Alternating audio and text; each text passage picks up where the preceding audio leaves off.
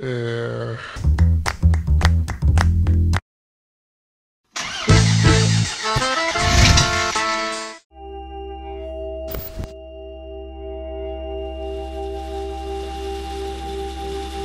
2014. január 14-én nagyot fordult Magyarországgal a világ. Orbán Viktor miniszterelnök Vladimir Putyin orosz elnök társaságában Moszkvából jelentette be, hogy új atomerőművet vásárolunk, amihez 10 milliárd eurós 30 éves lejáratú hitelt veszünk fel Oroszországtól.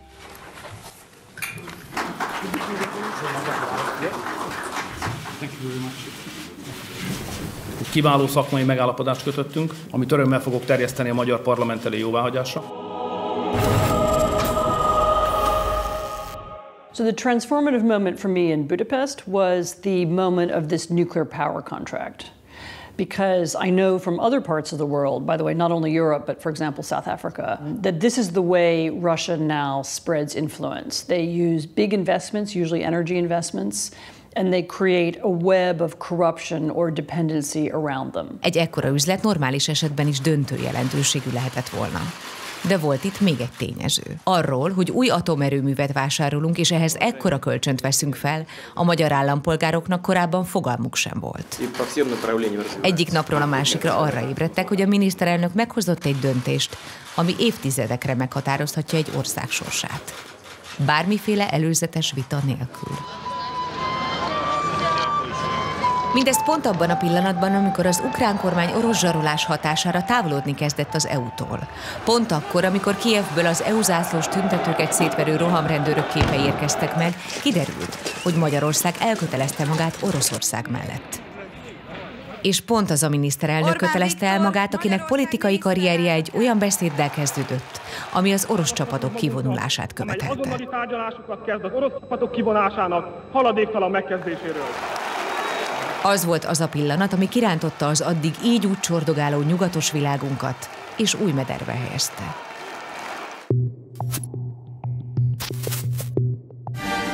...2014-re nem csak Magyarországon lehetett észrevenni, hogy végérvényesen megváltozott valami. Oroszország támadásba lendült és zavarba hozta a nyugatot.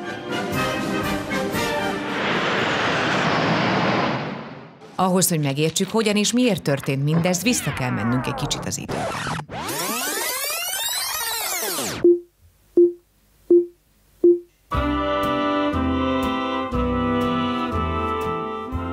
A második világháború utáni világrend a két szuperhatalom, az USA és a Szovjetunió vetélkedéséről szólt. Európát még a háború közepén felosztották egymás között. Így nézett ki a két nagy katonai tömb nyugaton a NATO, keleten pedig a Varsói Szerződés országaival. Ám a Szovjetunió szétesésével az erőviszonyok teljesen átalakultak. Nem egészen három évtized alatt a szovjet blokkországai sorban lettek a legfontosabb nyugati szövetségek tagjaivá. Albánia és Montenegró kivételével az új NATO tagok az Európai Unió tagjai is lettek.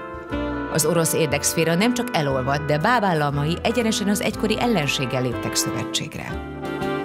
Az új NATO országokban pedig kikötők és repülőterek sora állt az USA hadseregének rendelkezésére. Úgy tűnt, hogy az orosz vezetés ebbe belenyugodott, és elfogadta, hogy Európa népei nyugati típusú demokráciában akarnak élni. Nagyon sok ember a 90-es éveket tekintette normának, amikor ugye Oroszország éppen lábalt ki a Szovjetunió széthullásából, nyilván gyenge volt, nyilván volt egy csomó belső problémát, tehát nem volt expanzív. És ehhez képest persze meglepő, hogy újra expanzív lett. Ugyanakkor viszont én azt gondolom, hogy a 90-es évek külpolitikai tulajdonképpen passzív Oroszországa az nem az normális, hanem az az abnormális Oroszország saját magához képest. Az ezredfordulón Amerikában és Nyugat-Európában is a többség úgy hitte, hogy a hidegháború végeztével Moszkvából nem érheti többé kihívás a liberális, kapitalista világrendet. Magyarország visszatért Európához, visszatért azokhoz az értékekhez, amit ezer éve val magáénak. Most arra viszont nyilvánvalóvá vált, hogy az orosz vezetésnek akarata és képessége is van a nyugat elleni harcra. Ebben az új viszályban lett Magyarország fontos szereplő. Magyarország ki akar tűnni a nyugati szövetségesek közül abban, hogy Oroszországot sokkal kevésbé kritizálja, mint más. A percepció Magyarországgal az, hogy lefeküdt az oroszoknak. A nyilvánosság előtt is szeretném tisztelettel megköszönni Oroszország elnökének, Putyin elnök úrnak, hogy meglátogatott bennünket. It's my life and it's now or never. I ain't gonna live forever. I just want to live while I'm alive. Láttam, mi történt ott 98 és 2002 között, még az elő, 2000 között még az előző elnök alatt, és láttam a változást, ami 2000 és 2002 között ott végbe ment azt tudom mondani önöknek, hogy amiben eddig Putyin elnök úrral megállapodtam, legyen az politikai kérdés, vagy energia, vagy gazdasági kérdés, azt Oroszország ez idáig mindig hiánytalanul betartotta. Vladimir Putyin még az első Orbán kormány idején 2000-ben került hatalomra. A 80-as években a KGB tisztjeként Dresdában szolgált, a legnyugatibb tartományban, ameddig az orosz-szovjet befolyási övezet valaha elért. Владимир Владимирович Путин. Putin uh, is represents the counter-revolution. You know, he is a, a, revanchist. He is part of a group of people who were dissatisfied by the Soviet Union's collapse and angered by it. Um, he himself was a KGB officer in Dresden at the time he saw the Berlin Wall fall. Um, for him, it was a personal tragedy. Какое событие, которое уже произошло в России, хотели бы изменить? Развал Советского Союза. He understood the resentment that many Russians felt about the loss of empire, and he was the one who turned that around into an argument for the re-expansion of power. What is happening in today's world?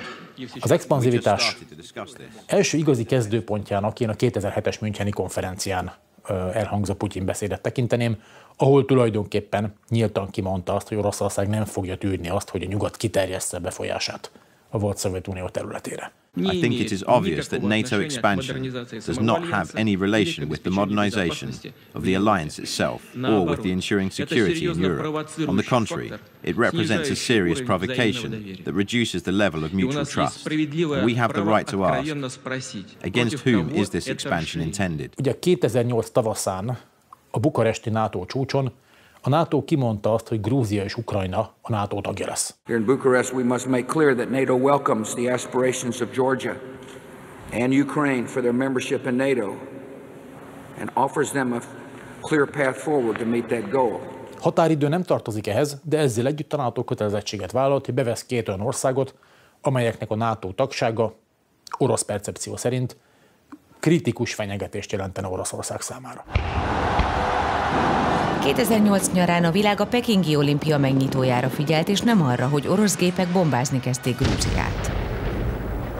Putyin akkor megmutatta, hogy nem enged többet lemorzsolni az egykori szovjet érdekszférából.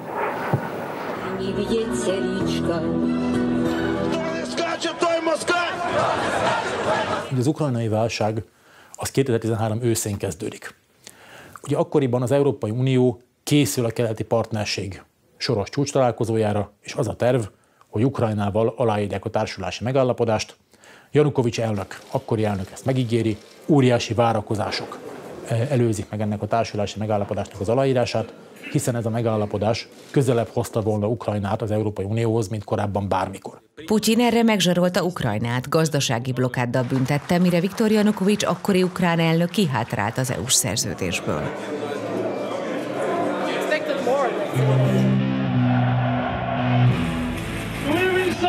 You ever, forever. Ukrajnában erre forradalom tört ki, elkergették Janukovicsot, és nyugatbarát kormány került hatalomra.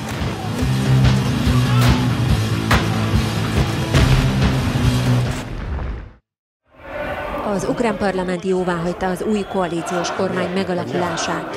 Megszavazták Arszenyi Jacenyuk kormányfői kinevezését. Moszkvában ezt úgy értékelik ezt a fordulatot, hogy egy nyugatos vezetésű ukrán kormány kerül hatalomra, már pedig orosz értelmezés szerint ez történt, akkor reális veszély az, hogy Ukrán esetleg csatlakozik a NATO-hoz.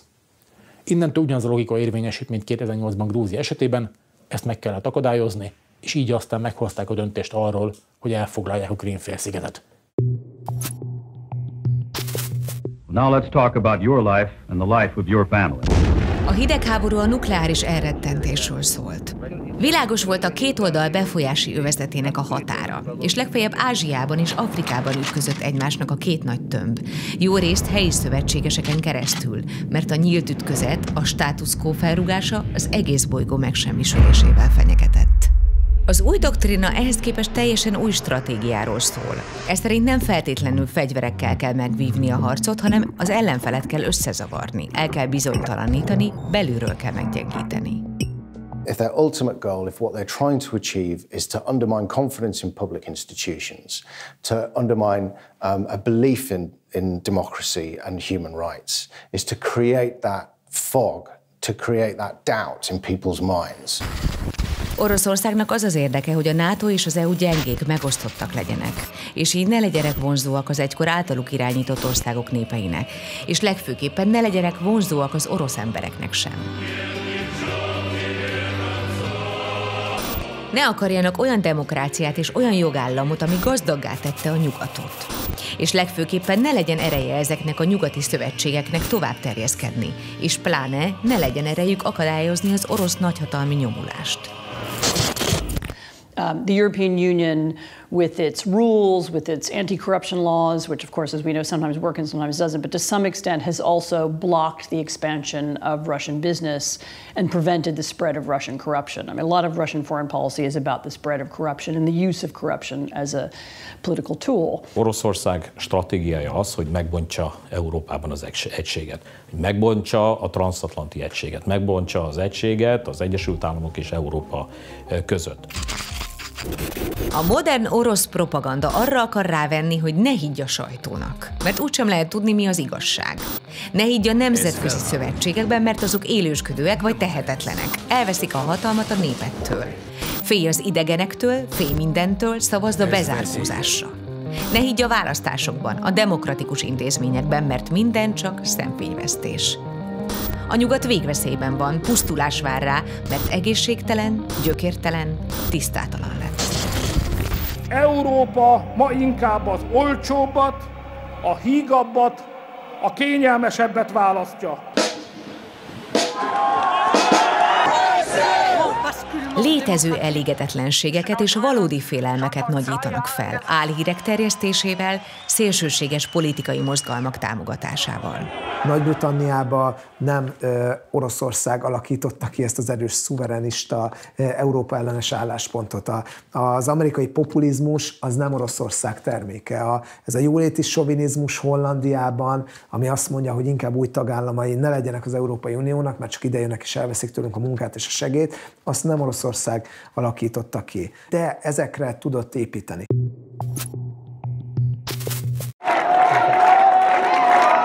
2014-es Paksi alkú után néhány hónappal a Fidesz megnyerte az országgyűlési választást. És ezen felbátorodva Orbán Viktor miniszterelnök nyáron tusványosan már teljesen nyíltan beszélt róla, hogy orosz mintára illiberális államot épít. Az az új állam, amit Magyarországon építünk, az illiberális állam, nem liberális állam. It's very strange um, the degree to which um, the Hungarian prime minister has followed the pattern used in Putin's Russia in at least three ways. One is by demonizing and focusing hatred against NGOs and passing laws designed to restrict them.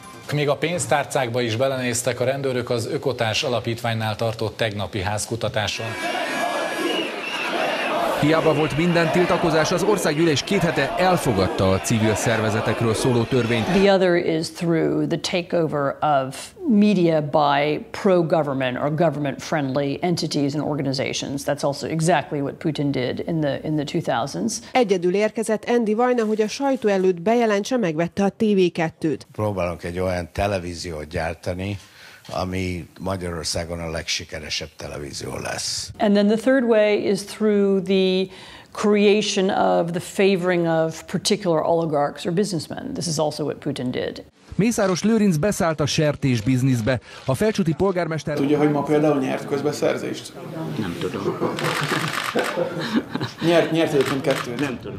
Az orosz nyomulásnak és a magyar kormány nyitottságának meg is lett az eredmény. Úgyhogy azt szeretjük a leginkább. Még 15 évvel ezelőtt a Fidesz szavazók akkori megítélése Oroszországról elmaradt az átlagtól, a lakossági átlagtól. Ma éppen ők azok, tehát a mai Fidesz szavazók azok, akiknek a legjobb véleménye van Oroszországról. I don't have a personal relationship with Viktor Orban. I, I've met him years ago. I've met him occasionally over the years. I've spoken to him over the years. Um, you know, for me, what's the most shocking about him is the turn he's taken in the last two or three years and um, his use of really sort of fear and hatred as political tools. A legrosszabb rémálmaink válnak valóra. Nem akarom, hogy ide jöjjenek! Egyetlen egy migránsból lesz hat migráns, hatból meg 12, és a végén elfoglalják egész Őcsint, egész Magyarországot. Hát így hallják, ugye tudjuk a, a csapból is. A nyugat elesik, miközben Európa észre sem veszi, hogy megszállják. And for somebody who says he's a patriot, um, it's pretty shocking what damage he's done to his own nation.